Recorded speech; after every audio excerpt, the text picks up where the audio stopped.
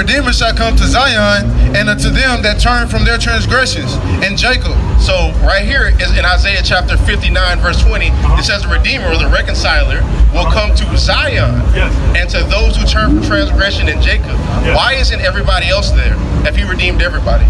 Because Zion is the church. Zion is the church? Zion is the, Who is the church? the church is us. So the scripture Who is us? every single person that's given his life to Jesus is submitted under him. Okay, let's see this. This is Acts 7 and 38. This is he that was in the church in the wilderness. Who is that? Who is he in the church in the wilderness? What are you talking about? What scripture is that? A- Acts chapter 7, verse 38. Is that talking about Paul, Barnabas? This is talking about Moses Okay. with the children of Israel when they got the law. Yes. Go ahead, read that again. This is Acts 7 and 38. Uh-huh. This is he that was in the church in the wilderness with the angel which spake to him in the Mount Sinai. Okay. And So right there, the church is Israel.